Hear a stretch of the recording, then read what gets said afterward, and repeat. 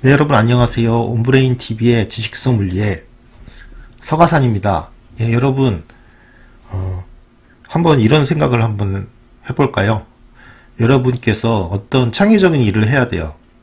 그런데 그때 창피한 기억을 되살려서 그것을 다른 사람과 공유하고 창의적인 일에 그 돌입할 때와 자랑스러운 기억을 서로 공유하고 상기한 다음에 그 창의적인 일, 에 몰두했을 때 이 두 가지 상황 중에서 어떠한 상황이 창의적인 일을 하는데 더, 더 도움이 될까 이런 생각을 한번 해봅시다. 여러분들 어떻게 생각하시나요? 둘 중 어떤 상황이 여러분한테 더 도움이 될 것 같아요?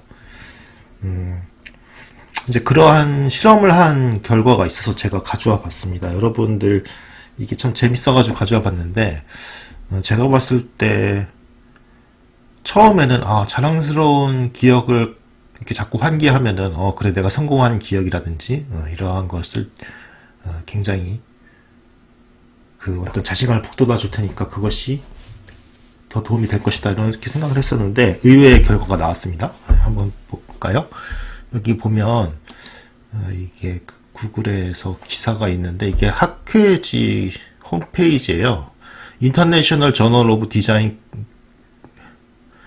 어, Crea Creativity and 뭐, 뭐 어쩌고저쩌고 해가지고 뭐였지? 그 어, 음, 디, 그러니까 디자인 창의성과 뭐 혁신 이런 Innovation 아, 혁신이라고 되어 있는 이런 아 이거 조금 번역이 됐네. 예, 번역된 걸로 봅시다. 아, 디자인 창의성과 혁신이란 국제저널에 실린 논문입니다. 그래서 보면 어, 엘리자베스 루스 윌슨과 톰슨 탐슨이라는 분이 지금 그 연구를 하신 것 같은데 아 그러니까 어떠한 실험을 하셨냐면요 음, 첫 번째 조사는 111명의 개인을 대상으로 했는데 음, 일부는 어떤 문제에 대한 아이디어를 내기 전에 이제 6, 지난 6개월 동안 경험한 일 중에서 창피했던 일들 이런 거를 이렇게 쓰게 만들었나 봐요. 그 나머지 사람들은 또 6개월 동안 스스로 자랑스러워할 만한 경험을 이렇게 적었고 네, 그래서 그렇게 해가지고 이제 실험을 해서 어떤 사람들이 더 창의적인 아이디어를 많이 냈나 봤더니 어, 좀참 뭐랄까 의외의 결과라면 의외의 결과라고 할 수 있는데 창피한 경험을 쓴 사람들이 훨씬 더 많이 그거래요. 어, 아이디어를 냈다고 합니다. 와, 그게 참 재밌네요. 그렇죠? 어, 그리고 또 두 번째 연구는 어, 대학교 최고 경영자 과정을 듣는 이제 관리자 그룹을 대상으로 했는데 93명을 대상으로 연구를 했는데 무작위로 이렇게 저기 3인 팀을 만들어서 어, 절반은 창피했던 이야기, 그 다음에 절반에는 스스로 뿌듯했던 이야기를 했는데 창피한 경험을 나눈 팀이 어, 26%더 많은 아이디어를 냈다고 합니다. 그러니까 재밌는 게 어, 창피한 이야기를 이렇게 서로 공유하고 또는 자기가 이렇게 상기하면은 창의성이 높아진다고 하는 건데 아 이거 지금 그 이 연구자들은 그것에 대한 해석을 내놓지 않았어요. 그냥 이런 연구 결과만 내놨는데 이제 우리는 그것에 대해서 뭐 해석하는 건 자유잖아요. 네.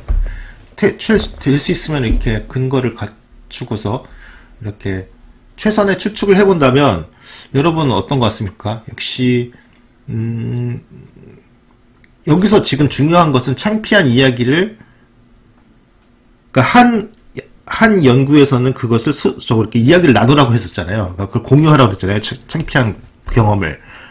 창피한 경험을 고, 공유하면은 일종의 그 뭐라고 까 배수진 같은 게 생긴다고 할까요? 그러니까 자기가 아 나는 창피한 이야기를 벌써 했으니까 이제 더 이상 뭐 잃을 게 없다. 뭐 이런 심정으로 적극적으로 그러니까 그 아이디어를 낼 때 아 이거 뭐 저기 다른 사람들이 뭐 뭐라고 해도 에이, 뭐나 어차피 창피한 얘기 다 했는데 뭐가 문제야 하면서 이렇게 냈을 낸다는 거죠. 그렇죠?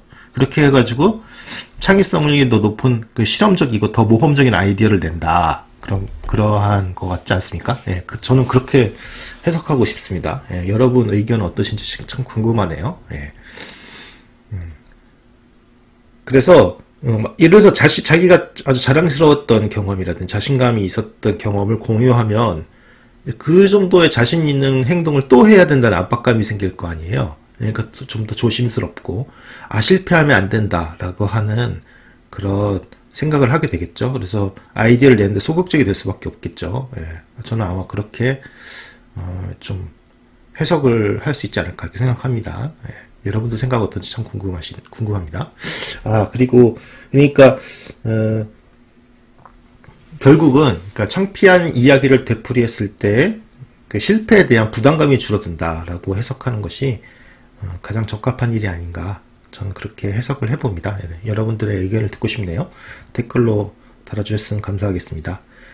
예, 오늘은 창피함과 창의성의 관계에 대한 이야기를 들려드렸고요. 다음에 더 좋은 정보로 찾아뵙겠습니다. 예, 서화산이었습니다. 감사합니다.